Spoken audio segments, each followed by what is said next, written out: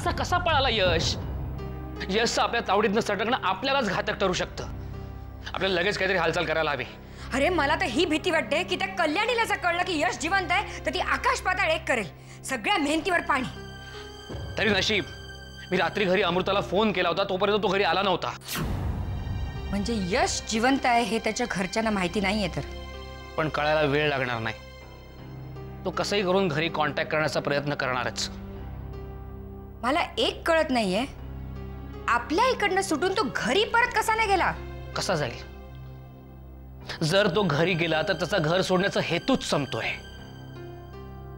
आणि कदाचित म्हणून तो लपून राहिला असेल. मग आपल्याला त्याचा ताबडतोब शोध घ्यायला हवा. नाही. नुसता शोध घेऊन चालणार नाही. आपल्याला असं काहीतरी करायला हवं ज्यामुळे यश पुन्हा अमृताच्या आयुष्यात येणारच नाही. त्याला त्याच वेळी मारायला हवा होता. मानव काय बोलतोस काय तू? बरोबर बोलतोय मी. आपण जर का यशला त्याच वेळी मारला असता कुणालाही संशय आला नसता नाहीतरी त्याची सो कॉल डेड बॉडी पोलिसांना दरीत सापडलीच ना. ऍटलिस्ट ही न्यूज़ मिळाल्यावर तरी त्याला आपण मारायला हवा होता. हे सगळं बोलायची ही वेळ नाहीये.